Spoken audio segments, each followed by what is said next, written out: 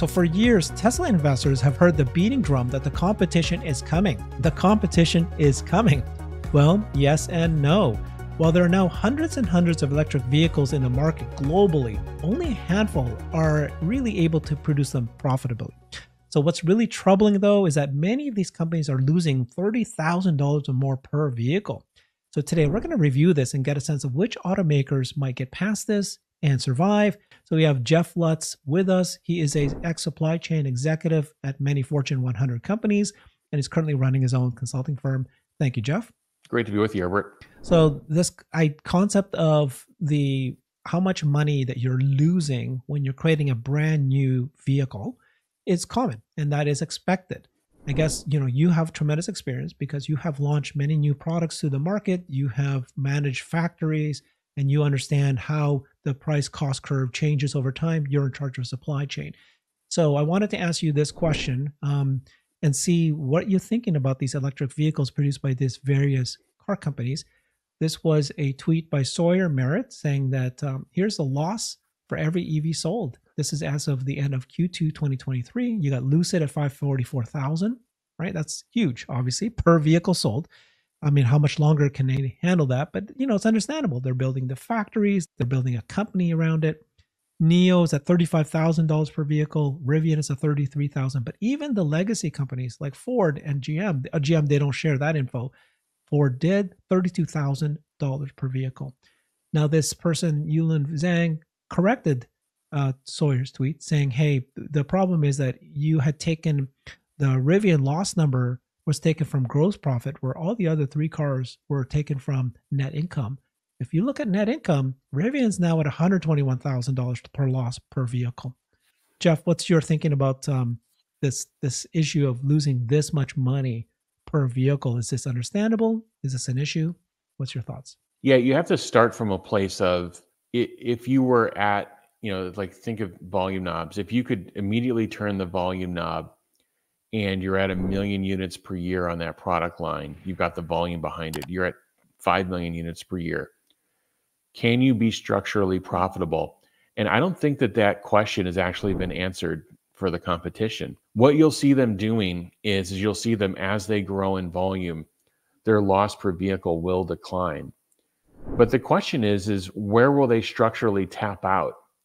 where will it actually get to when they're at the, their intended scale? And what Ford and GM has have told us is very interesting. They both CEOs are on the record this summer stating that they don't know how to build a vehicle that has a an, an, an average transaction price or a selling price below forty thousand dollars profitably, meaning above zero percent gross margin. They don't know how to build um, a vehicle like that this decade. So that tells you that what they've actually structurally designed, you know, in terms of unit economics, all the components selected, the number of components selected, the complexity in those components, the complexity of putting the product together, how they distribute the product, dealer network, the amount of inventory they carry, all the financing, everything that they, when you lump all that together, you get something called unit economics. And what they're telling you is none of the unit economics work this decade for the for the tier of vehicles that are the most widely sold. Now, that was Ford and GM. What Rivian is what Rivian is saying is they're on this steady trajectory. Now, if you look at it from gross profit or you look at it from net income, they were you know they reported I believe recently from from um, from gross profit, and they said that you know in the last they showed this trajectory going from losing over hundred thousand dollars a vehicle to sixty to thirty that's not going to keep going up, you know, $30,000 per quarter as they build some incremental volume. They're probably already starting to tap out. And Rivian has said that they they will they believe they can reach profitability next year. That that may happen. They sell an $80,000 vehicle. So it is it is possible that may happen. The question is is did they fundamentally fix their structural unit economics so that when they build this R2 vehicle you know, more than a year from now, probably two years from now, will they be able to attain the kind of gross margins that Tesla is able to do, you know, in their three and Y? So there's this thing starting, you start from zero and then you measure this thing called like, what's my time to break even? And and there's many different ways to look at this. You can look at it from gross margin, you can look at it from net income, you can look at it from from you know from gross profits. You, know, you look at it from a number of different angles, but you're trying to figure out when can you actually be structurally positive and start actually generating cash from your business, free cash flow from your business. And you know, for Tesla, that took a number of years and it took a tremendous amount of vertical integration to get there, vertical integration that they needed to do in order to be able to pro- you know produce a vehicle at all because there wasn't a supply base. So I think this I think the way where the EV industry right now is very interesting.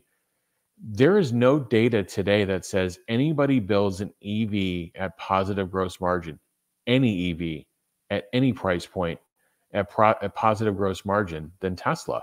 I haven't seen the data. If somebody wants to drop something in the comments where where, where an OEM is actually broken out and says this vehicle, I, I don't know. I, I, we haven't seen it.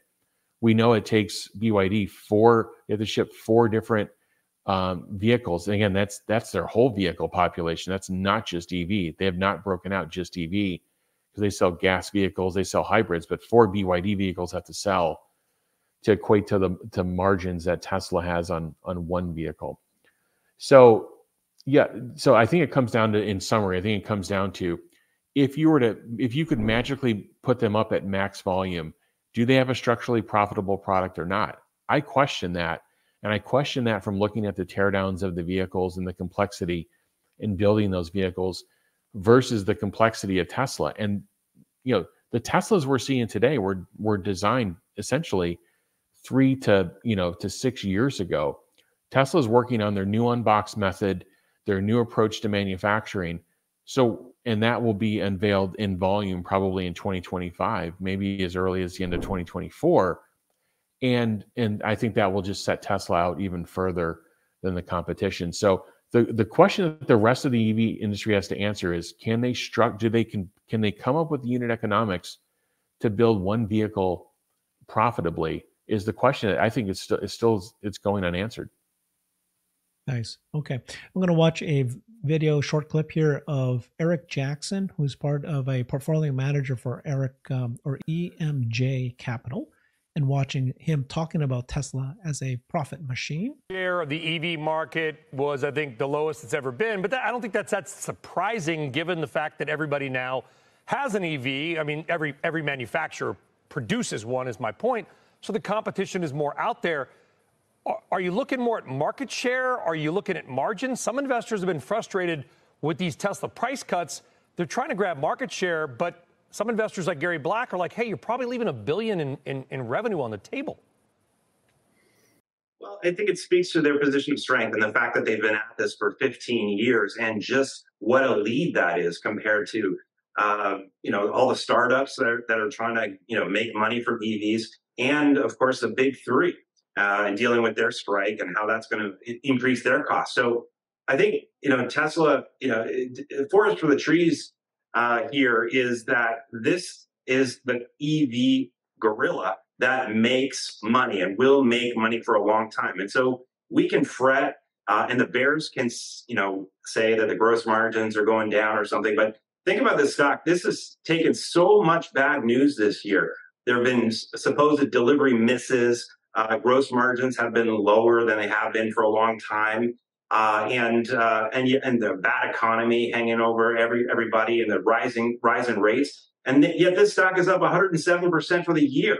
And I think a lot of the, the bad news about price cuts is behind them. So uh, I'm watching next Wednesday to see what the gross margins will be. I'm optimistic that they're going to hold to their word that it's going to stay way ahead of the big three automakers with their with their ICE uh, technology, mm-hmm. and uh, and that's going to be something that the, the market embraces. All right. What's your thoughts on his comments there? At least they make money, lots of money. they make money, and they're being compared to legacy auto that pr- is still producing ICE vehicles um, and not EV only. And um, I think I think that's an that's an important takeaway. The other important uh, there's a, a number of important things in there too. The the the gross margin piece for Tesla, you know, it's been on this steady decline this year but MSRPs are basically returning back to the original point when they launched these vehicles. And but what COGS have been able to do is COGS have been able to steady decline, and COGS will continue to decline. So on the other side of this, when when the rate situation clears up and and they actually start cutting rates, so the marginal cost for somebody to, I think eighty percent of of cars are financed uh, today is the metric. So when the marginal cost of that starts declining, Tesla's already going to be at their lowest COGS ever and they're currently at they're going to be at their MSRP, their lowest MSRPs ever. The rest of the competition will have to continue to reduce their MSRPs, and if they're not in volume, they're going to struggle to reduce their COGS. So the, the equation is is setting up pretty nicely for Tesla, um, and and it, you know again, the, I think his point about that there's been a lot of bad news that's been baked into the stock I think that's I think that's correct. I mean, a lot of this is out on the table. I think the expectations for Q3 are very low. And you can say, well, the stock has melted up over 100% on the year, but a lot of people would tell you it should have never melted down to where it did, you know, in the end of December. So I think, you know, this is this is why this is why you have a market. This is why you have bulls, this is why you have bears. There's disagreements on both sides of this. But if you see the what I see as a takeaway is the deceleration in, in MSRPs or pricing is is is is happening. They went from across the board price cuts in April, January and April of this year to now only doing regional price cuts, a few number of trims, and then some inventory reductions. Now we're seeing a, even a smaller number of trims being cut. And let's see how the rest of this quarter plays out. I think Q3 is going to be kind of the messy transition quarter. Q4, I, I, see them really stabilizing. So I, I, think a lot of the, I think to Eric's point, a lot of the bad news has been baked in. So Jeff and I just did a video where Morgan Stanley talked about what they're expecting for Q3, Q4 next year. Go watch that next. Follow Jeff on X at the Jeff Lutz. Thank you again, Jeff. Talk to you soon. Thanks, Robert.